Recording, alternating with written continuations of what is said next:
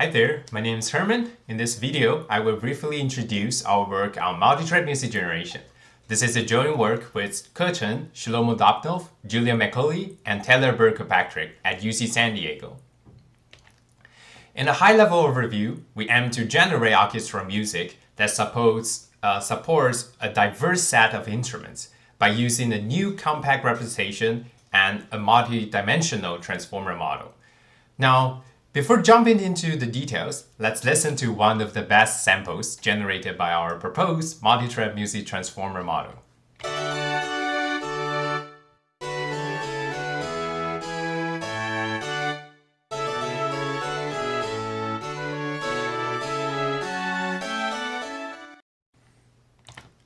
So, in the past few years, prior work has proposed many transformer-based music generation systems.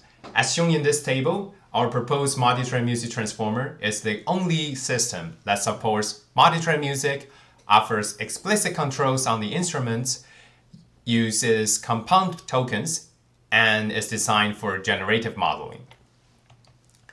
Now, let's dig into our proposed system.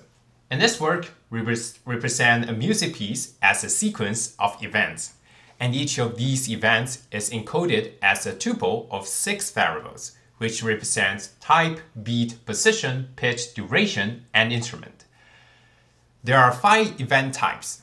Three of them are structural types, which marks the start of song, the start of note event list, and the end of the song. And there are two types of data events, instrument events and note events. These data events are specified by the other five fields. Here's an example of a song encoded by our proposed representation. First, we have the structural events. Between the start of song and start of notes events, we have a list of instrument events, which specifies all the instruments used in this song. After the start of notes event, we have a list of note events, which encode the music itself. Now, with the proposed representation, the model itself is basically a decoder-only transformer model with multi-dimensional inputs and outputs. That is, at each time step, the transformer is trained to predict an event with six fields at the same time. Like a typical transformer model, the model is trained autoregressively. Moreover, at inference time, we assign zero probabilities to illegal values in the sampling function, so that the generated representation is always valid. Now, one great benefit of the proposed model is that we can achieve three different tasks without retraining the model. First, we have unconditional generation, where we only provide a start of song event as input. Second, for instrument-informed generation, we provide a list of instruments and start from the start of note events. Third, we can also do n-beat continuation, where we provide the list of instruments and the notes in the first n beats of the music. So the model will continue the song. On top of that, uh, I want to emphasize again that we only need to train one single model to achieve all these tasks. Here are details of our data, model, and training. I just want to highlight one thing here. We use the symbolic orchestral database which contains 357 hours of orchestral music. Now, demo time. First, we have an example for unconditional generation.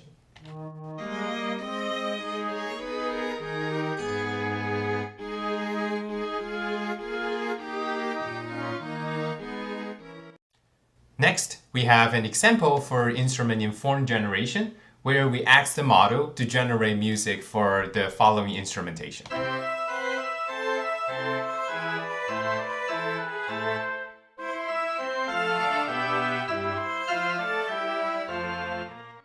Finally, we have an example for 4-beat uh, continuation, where we provide the first four beats of the music to the model and ask it to continue the music.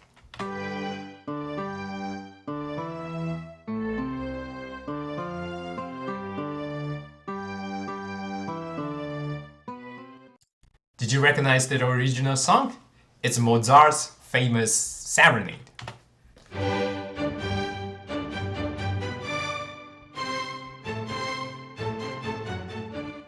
It's pretty cool to see how the model turns it into a more oriental flavor. And more audio examples can be found at this link at the right.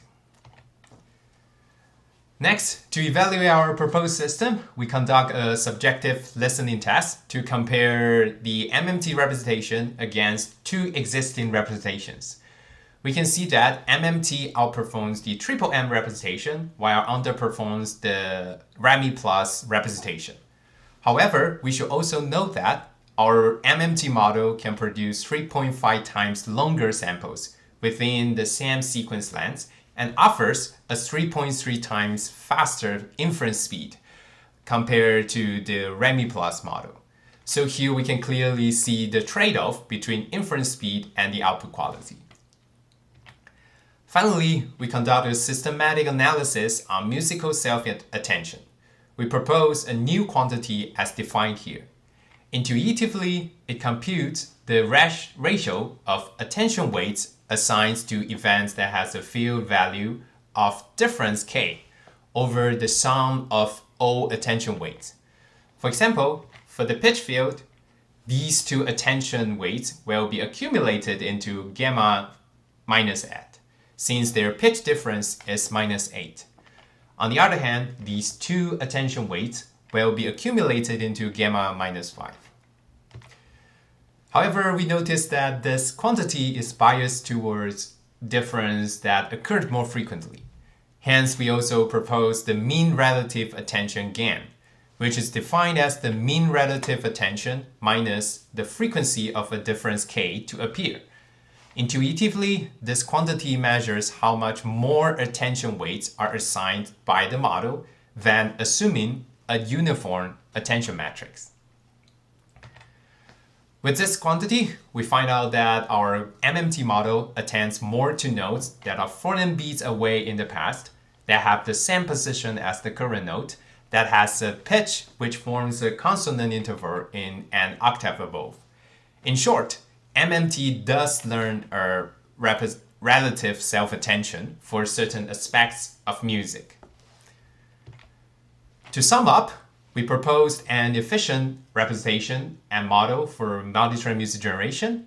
Moreover, we presented the first systematic analysis of musical self-attention. We thank Jay Yang and Family Foundation, Taiwan Ministry of Education, and European Research Council for funding this work. Thank you. Please check out our paper, demo, and code in the links below.